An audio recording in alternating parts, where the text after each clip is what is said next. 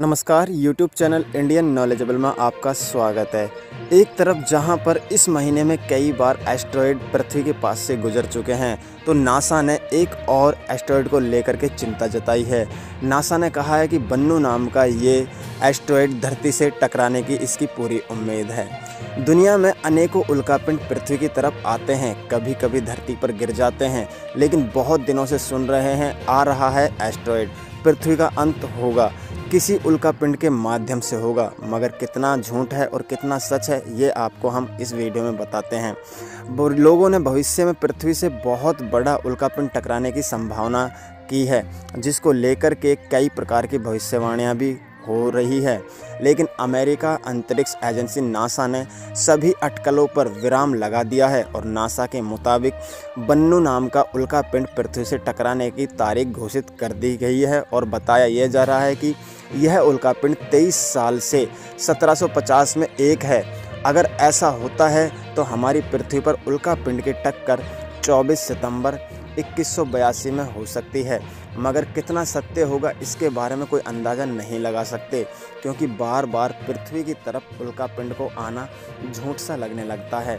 मगर बन्नू उल्का पिंड पृथ्वी से टकराने की 90 परसेंट आशंका बताई जा रही है नासा के वैज्ञानिकों द्वारा।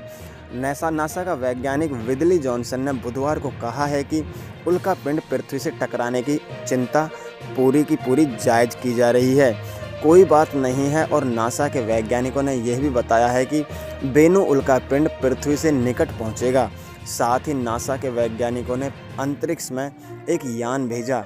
उसने उस एस्ट्रॉयड पर एक अंतरिक्ष भेजा, जिसका नाम ओ ओ सीरीज़ रैक्स नाम है।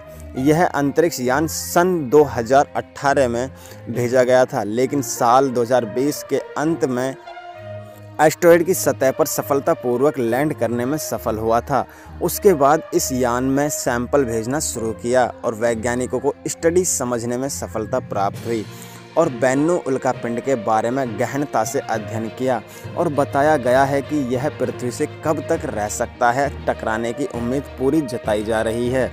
अंतरिक्ष यान ने और बेन्नू एक बहुत ही डर और प्राचीन उल्कापिंड है। जो निवास शहर में एम्पायर स्टेट बिल्डिंग की तुलना में बहुत बड़ा और बहुत चौड़ा बताया जा रहा है। वैसे भले ही हमारी पृथ्वी पर प्राकृतिक आपदाएँ बहुत सी आती है, मगर जो उल्का पिंडों को लेकर कई प्रकार की बड़ी बड़ी भविष्यवाणियाँ हो रही है, अभी तक उनका कोई रहस्य नहीं हो पा रहा है, ना ही कोई सच्चाई सामने आ रही है। मगर हम प्राचीन काल के सबूतों को देखें तो हो सकता है कि पृथ्वी का अंत हमारे एस्ट्रॉइड से हो सकता है। आप सबको क्या लगता है? आप सब अपनी महत्वपूर्ण राय कमेंट बॉक्स में ज़रूर दीजिए और वीडियो को लाइक कर लीजिए और इस चैनल को कर लीजिए सब्सक्राइब मिलते हैं ऐसी ही वीडियो के साथ में। धन्यवाद।